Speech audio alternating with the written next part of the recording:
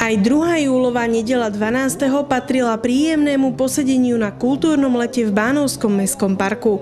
Tentokrát to bol večer plný Dixielandu. Ak vám náhodou tento pojem nič nehovorí, tak vedzte, že ide o štýl jazzovej hudby, ktorý vznikol začiatkom 20. storočia v New Orleans. Šírili ho postupne najmä miestni hudobníci. V klasickej Dixielandovej kapele nájdeme nástroje ako trúbka, pozón a klarinet. K tomu samozrejme musí byť aj rytmická časť. Tam je zložená zloženie pestrejšie od gitary cez banjo, kontrabas či tubu až po klavír a bubny.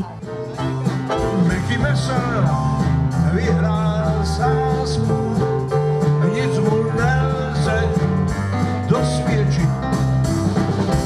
Nám prišli tento štýl priblížiť hudobníci zo sereckého Dixielandu.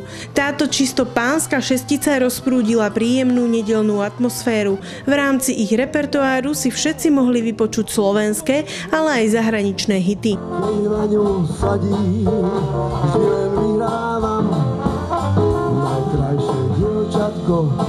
to je moja Marta, ja keď ju vidím, tak veľkú radosť mám. Kapela vznikla v roku 2000, ale zamerala sa výlučne na anglickú revivalistickú školu tradičného jazzu a tak sa do ich repertoáru dostali piesne od velikánov tohto žánru, ako je Chris Barber, Aker Bilk či Kenny Ball.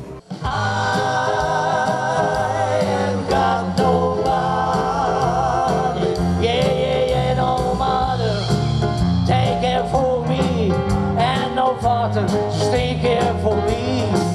Postupne sa však do ich repertoáru dostávali aj slovenské piesne, či už tie, ktoré boli ako jazzové napísané, ale aj tie bežné, ktoré dostali len nové aranžmá.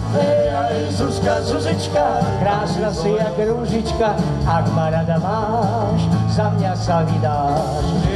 Zuzka, Zuzička, daj mi svojho srdiečka, Bánovčanom sa vystúpenie páčilo a potleskom pre túto šesticu veru nešetrili. Po viac ako hodinovom vystúpení si publikum pýtalo ďalšie prídavky.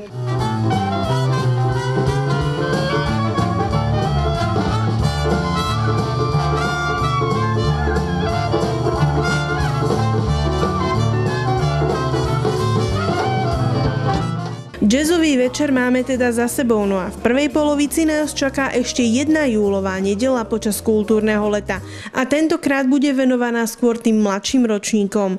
Do parku príde Harry Theater s bábkovým divadelným predstavením Zlatovláska na motívy klasickej rozprávky, ktorú určite všetci poznáme. No a po dvojtyžňovej pauze sa do parku vrátime opäť až 9. augusta a spoločnosť nám bude robiť bánovský dostavník, takže si prídu na svoje všetci milovníci country hudby.